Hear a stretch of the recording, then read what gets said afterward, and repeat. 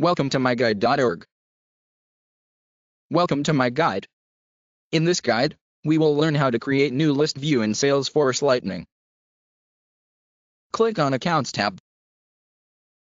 From the list view controls, click on gear icon. Click on New. Enter list name. List API name auto-populates.